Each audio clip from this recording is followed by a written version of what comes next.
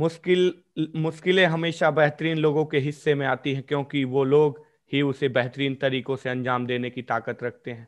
नमस्कार दोस्तों, मैं अभिनंदन, आपका इस आर जैक्सन चैनल पर हार्दिक स्वागत करता हूँ। जैसा कि मैं इसमें अभी जे की सीरीज़ चला रहा था तो उसमें 40 से 45 जे का इंटरव्यू हो चुका है।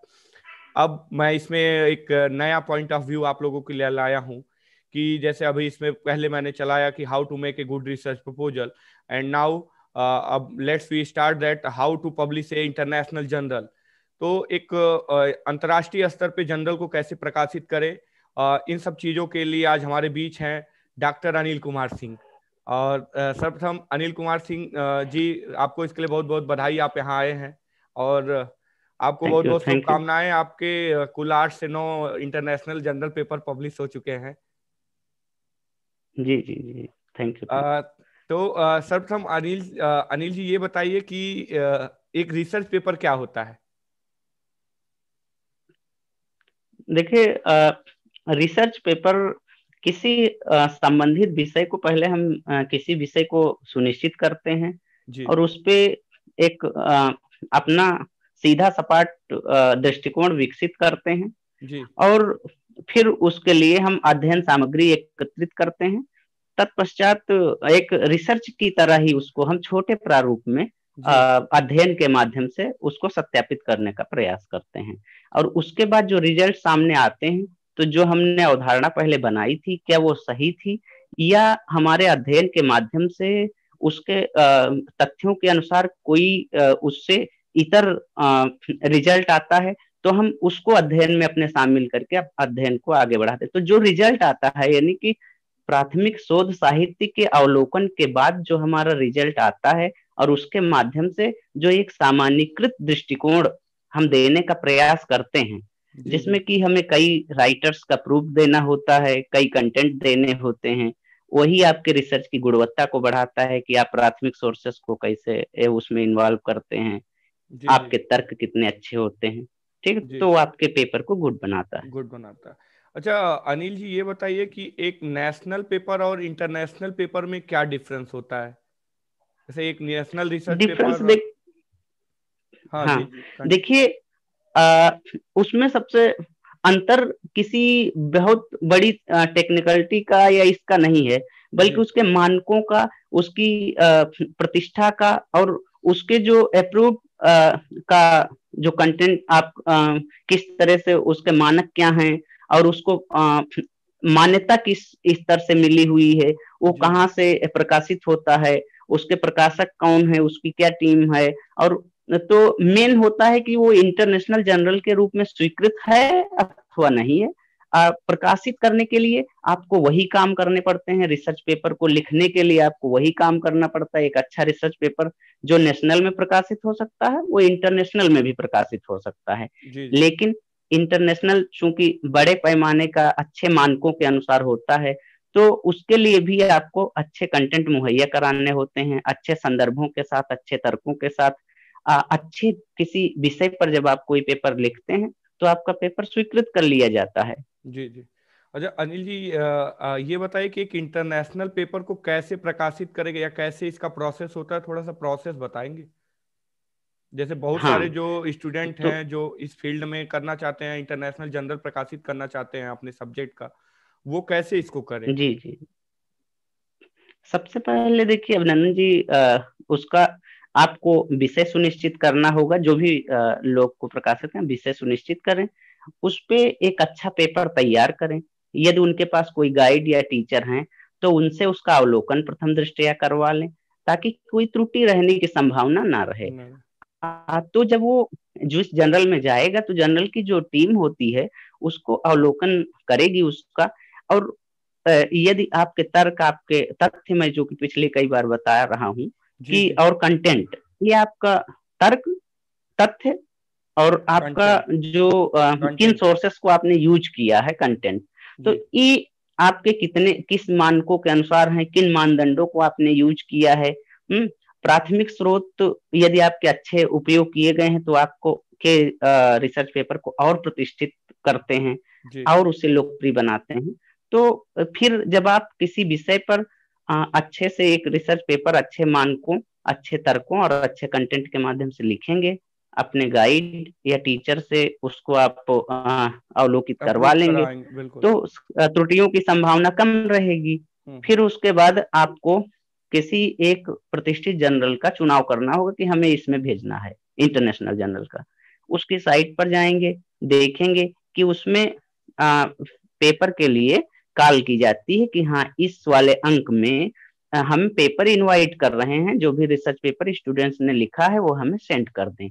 तो वहाँ जाएँगे आप तो वहाँ पर आपको देखना होगा पेड जनरल में आप रिसर्च पेपर अपना प्रकाशित करवाना चाहते हैं या नॉन पेड या अनपेड मतलब जो पेबल नहीं होते हैं अच्छा, तो उसमें करवाना चाहते इसमें हैं। दो तरीके का होता है पेडेबल और नॉन पेडेबल हाँ। जी तो इस पे तो जैसे आ, एक होता है जिसमें आपको एक पेपर होता है जिसमें कि आपको पैसे देने होते हैं प्रकाशित करने के लिए वो आ, उनके अनुसार जो वो राशि तय करते हैं उस राशि को का भुगतान करना पड़ता है उसके पश्चात आपका पेपर प्रकाशित होता है।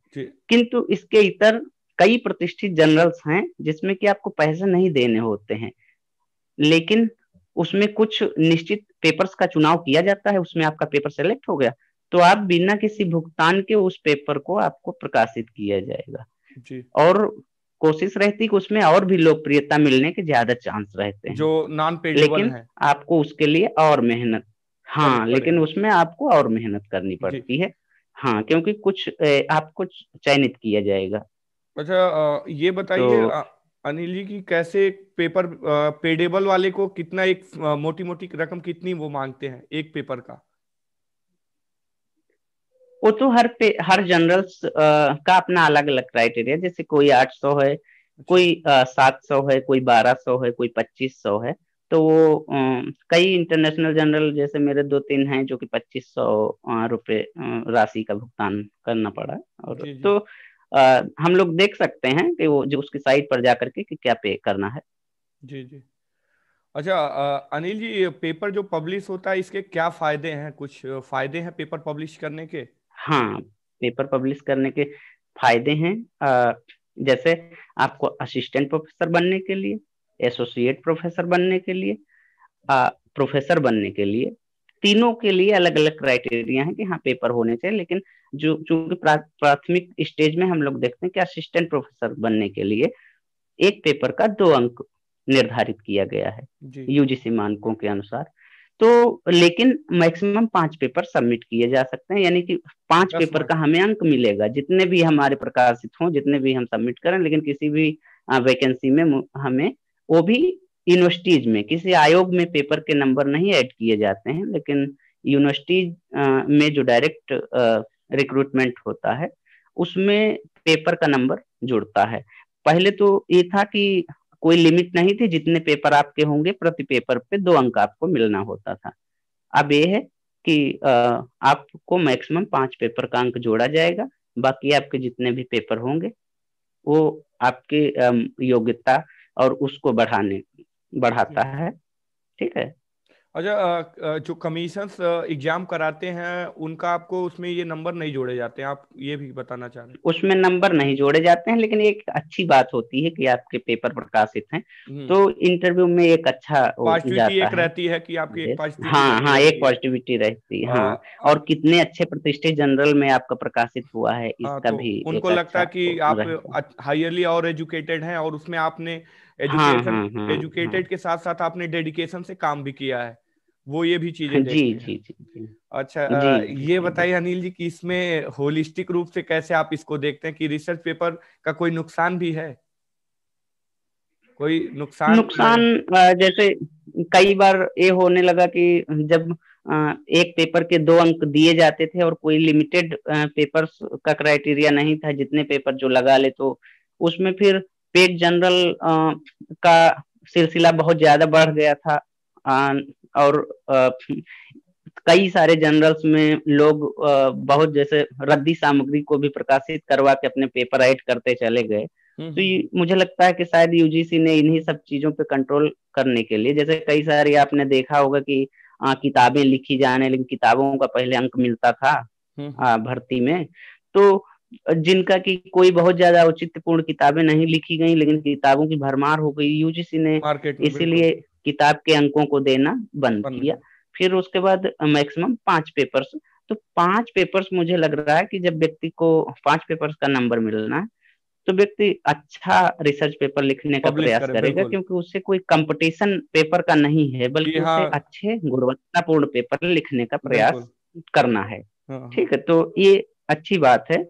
यही उसका नकारात्मक पक्ष था कि ज़्यादा पेपर्स के नंबर मिलने की वजह से लोग होड़ लग गई तरह के कंटेंट को हाँ, हाँ होड़ लग गई कि हमारे ज़्यादा पेपर पब्लिश होंगे तो मुझे ज़्यादा मार्क्स मिलेंगे। हाँ ज़्यादा नंबर मिलेंगे। कई बार तो कई बार मैं आपको बता दूँ कि पीएचडी के लिए सिर्फ़ दो पेपर्स का सबमिट होना अनिवार्य होता है कि दो पेपर्स आपके लिए लिखे होने चाहिए हम्म, हम्म। तो देखा यह गया कि कई बार जो व्यक्ति नहीं जानता था उसके पीएचडी और प्लस दो पेपर ही थे और कई व्यक्ति थे जिन्हें इन बात का भान था तो उन लोगों ने कई सारे पेपर्स प्रकाशित कर लिए और जब एपीआई स्कोर बना तो जो पीएचडी सबमिट नहीं है उनके पता चला कि 20 से अधिक पेपर हैं उनको 40 नंबर मिल गया और जो पीएचडी हैं उनके दो पेपर हैं 35 नंबर पीएचडी का दो पेपर चार उनतालीस हुआ तो पीछे हो गए देश से बाहर हो गए बिल्कुल। तो पेपर को लेके एक यूजीसी ने एक बहुत अच्छी ये चीज़ की कि पेपर को उन्होंने लिमिटेड कर दिया और इससे उन्होंने और ये भी किया कि इसको डेडिकेशन के साथ और कम रिसर्च पेपर और क्वालिटी के साथ आप उनको प्रोवाइड करिए। जी जी जी। और कॉपी पेस्ट की इसमें पहले ये थी कि कॉपी पेस्ट भी लोग करते हैं तो इसमें आप इसको किस दृष्टि से देखते हैं? बहुत लोग जनरल्स को भी हाँ। कॉपी पेस्ट करते हैं तो इस पे आप क्या कहना चाहेंगे? हाँ जो कॉपी पेस्ट का मसला है हाँ. वो देखिए यही आपको डिसाइड करता है कि आपका पेपर यदि किसी गुणवत्तापूर्ण जर्नल में प्रकाशित होता है और अंतरराष्ट्रीय मानकों के अनुसार तय मानदंडों के अनुरूप जो पेपर जनरल संचालित हो रहे हैं उनमें यदि आप पेपर भेजते हैं तो बाकायदे आपके पेपर को एनालिटिकल ढंग से उसको देखा जाता है उसमें ये देखा जाता है कि कितना एक सॉफ्टवेयर उनके पास है जिससे कि वो देख सकते हैं कि कॉपी पेस्ट कितने परसेंट हुआ है। जी जी। तो आ, इस प्रकार तय मानदंड के अनुसार कि इतने प्रतिशत से नीचे ही यदि आपका कॉपी पेस्ट है यानी कि आपने किसी चीज़ को कहीं कंटेंट को उठाया है लेकिन आपके पूरे पेपर में मुझे लगता है कि 20 प्रतिशत के नीचे यदि आपका है तो वो माना जाता है कि ठीक आपने रिसर्च पेपर किया लेकिन उसके ऊपर है तो आपको हाँ हम्म। तो आपके पेपर को रिजेक्ट कर दिया जाएगा यदि उसके ऊपर है एक तय मानक के अनुसार आप दूसरी बात यह है कि जो कई सारे इधर उधर जनरल होते हैं जिनमें कि ज़्यादा पैसे देने पर आपका पेपर तो प्रकाशित हो जाता है लेकिन उसमें इस बात का कोई गारंटी नहीं होती है कि आपके पेपर को वहाँ पर उस सॉफ्टवेयर के माध्यम से परखा गया है कि हाँ आपके पेपर में कॉपी पेस्ट है या नहीं है। बल्कि वो लोग पैसे के लिए उसे प्रकाशित कर देते हैं। लेकिन वो बाद में आपके लिए दिक्कत बनती है। दूसरी मैं एक बात और बता देना चाहता हूँ कि अब यूजीसी ने प्रावधान ये भी कर दिया है कि आपने अपना ही पेपर या थीसिस लिखी है। लेकिन उस अपने पेपर या थीसिस को भी आप दोबारा कॉपी नहीं कर सकते हैं एक निश्चित प्रतिशत के ऊपर। जी जी। तो ये भी मुझे लग रहा है कि एक अच्छी पहल है क्योंकि पहले मैं नाम नहीं लूँगा लेकिन कई सारे ऐसे विद्वानों को मैं जानता हूँ जिनके की उसी उन्हीं पेपर्स को थोड़ा बहुत तोड़ मरोड़ करके थोड़ा बहुत और सुधार कर करके हाँ, बीसियों बार प्रकाशित करवाया गया है। और उनका जब ऐड किया जाता है तो बताते हैं कि उन्होंने 120 जर्नल प्रकाशित किए हैं। उन्होंने 120 रिसर्च पेपर लिखे हैं।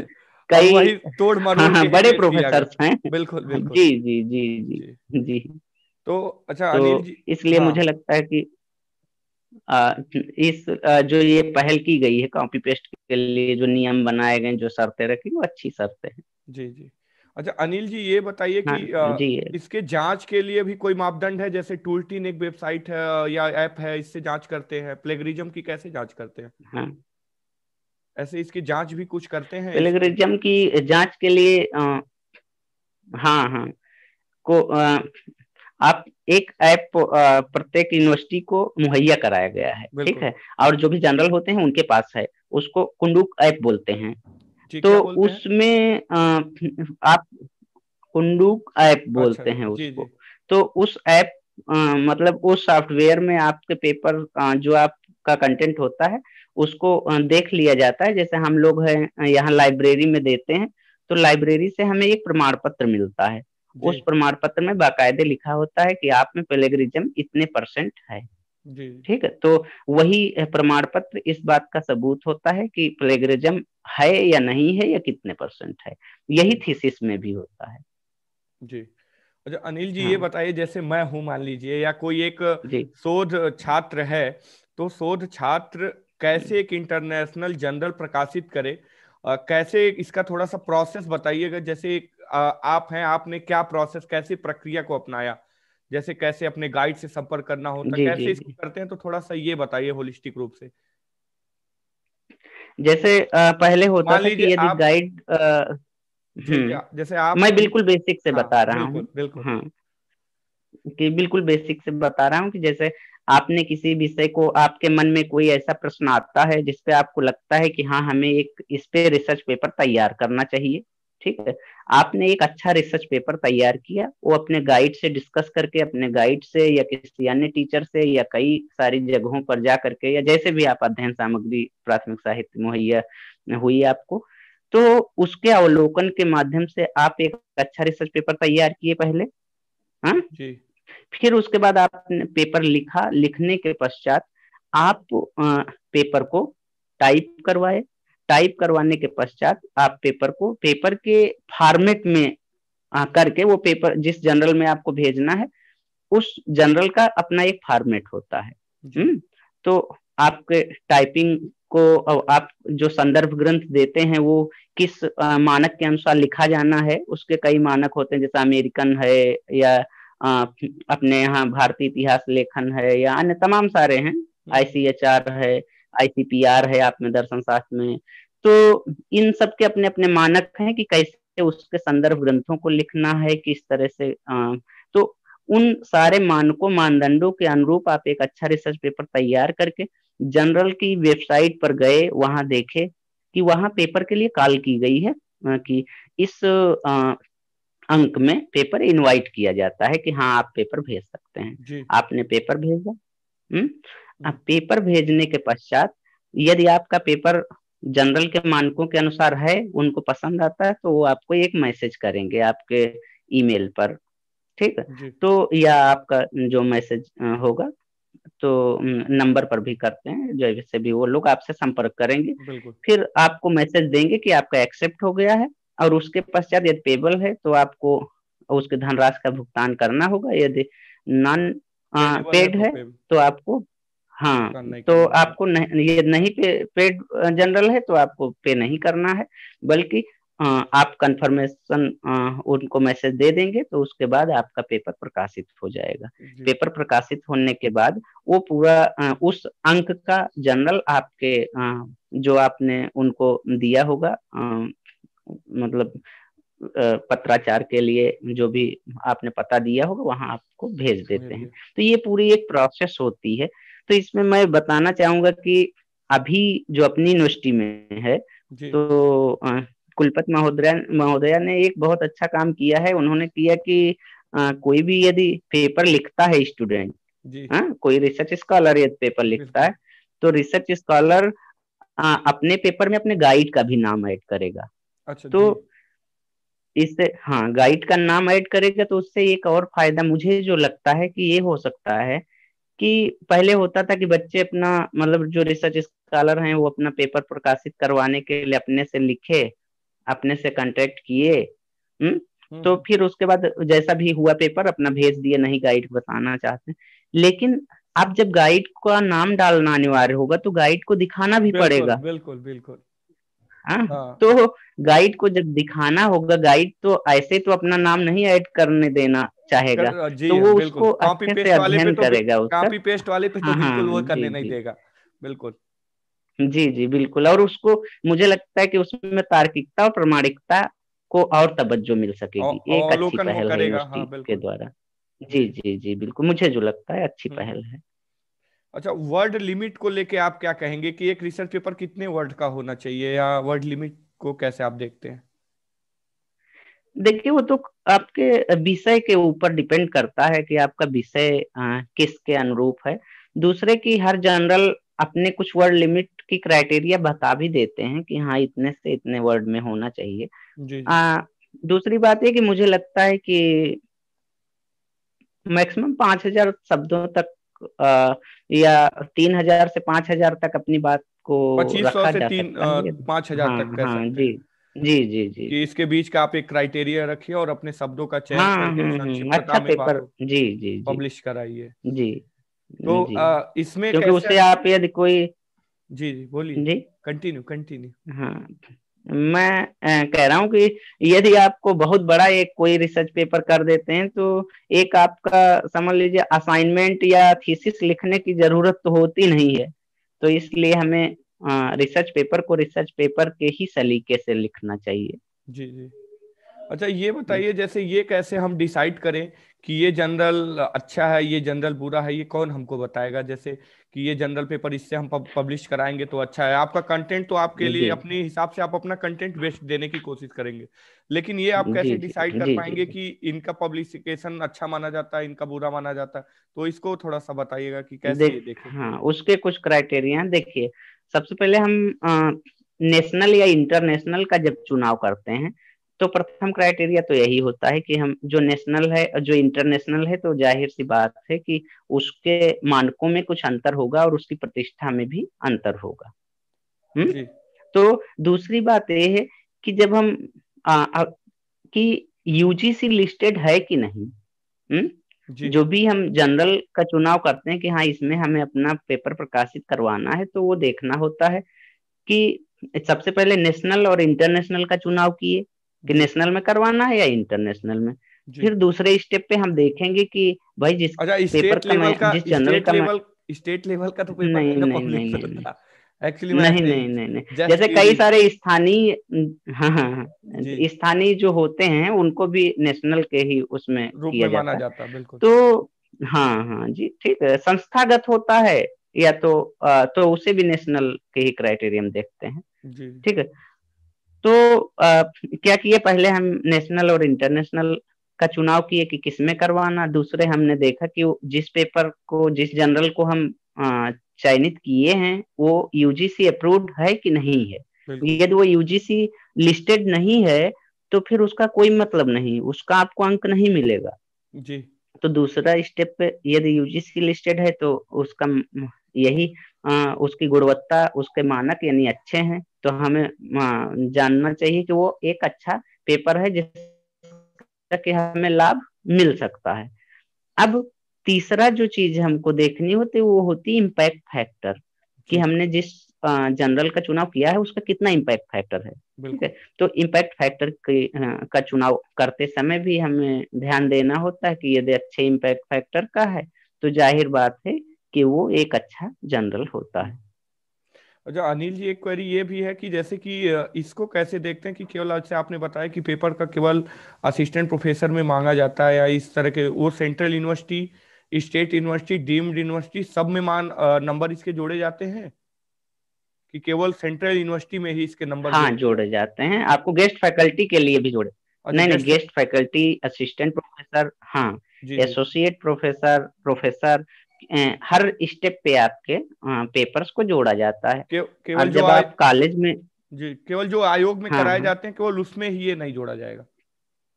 जी जी जी। लेकिन कई जगह आयोगों के माध्यम से भी जो कराई जाती है वैकेंसीज तो उसमें भी पेपर के अंक जोड़े जाते हैं। जैसे आप हरियाणा बोर्ड जो हरियाणा कमीशन है या हाँ या बिहार में अभी आयोग के माध्यम से जो रिक्रूटमेंट हो रहा है। जी, जी. तो वो डिपेंड करता है कि आयोग के ऊपर कि वो यदि मान्यता देता है ऐड करता है कि हाँ उसको जोड़ा जाना चाहिए तो जोड़ा जी. जाता है।